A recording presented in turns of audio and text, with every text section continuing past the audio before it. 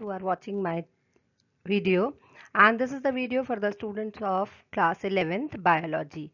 So uh, this topic is from the chapter number 4 unit 1 animal kingdom. And in this video uh, the topics uh, from the or you can say phylum from the porifera to Nemathelminthes okay till this it will be explained so just begin with this begin with the porifera okay porifera this is the phylum of sponges sponge you know very well sponge देखा है कैसे होता है वो porous हुआ करता है okay okay, तो इसीलिए इस ग्रुप के या इस फाइलम के मेंबर्स को स्पंजेस कहते हैं because their body is porous one and most of them are marine and asymmetrical and they have the cellular level of organization.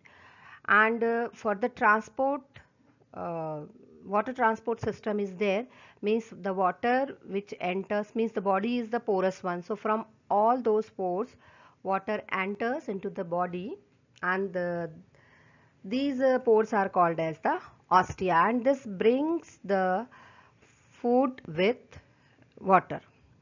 Okay so uh, means everything that is nutrition respiration excretion that that all is performed by the pathway of water transport system.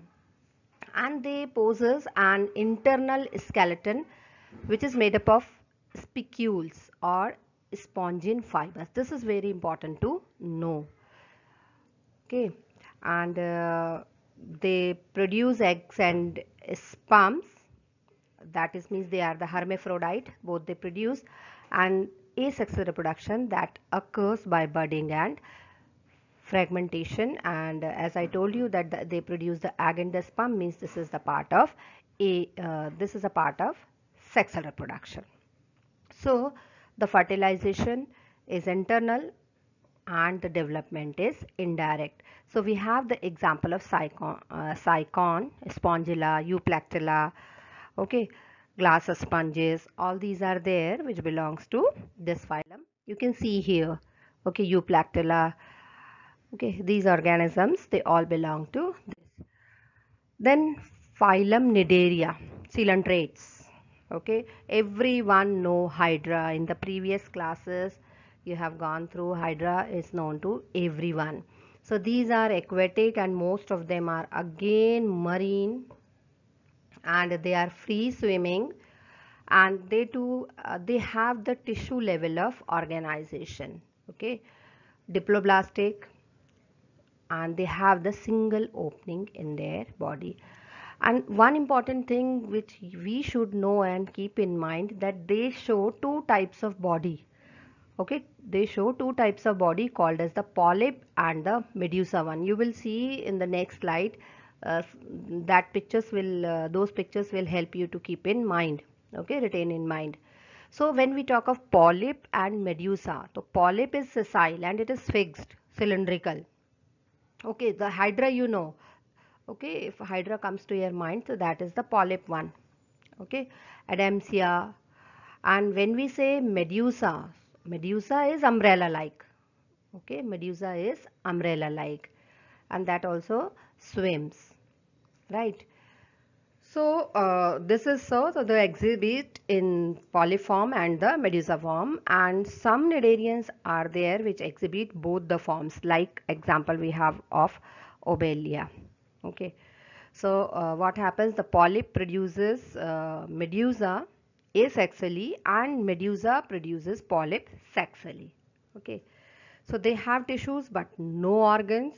And one important again think like that the body is uh, of uh, two types that is polyp medusa. And second important thing is they have special stinging cells cnidocytes and that is for defense and offense.